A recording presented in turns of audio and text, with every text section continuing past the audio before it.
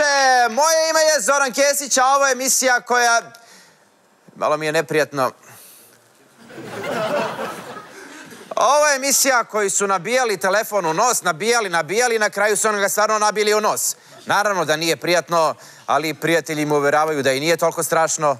Dok je supruga čak u fazonu, pa bolje ti je tako. Nemoj ni da skidaš.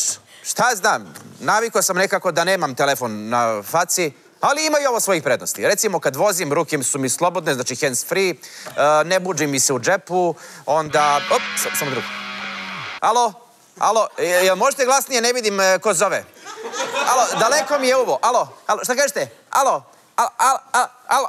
E, e, Dobro došli u 24 minuta. Alo, alo.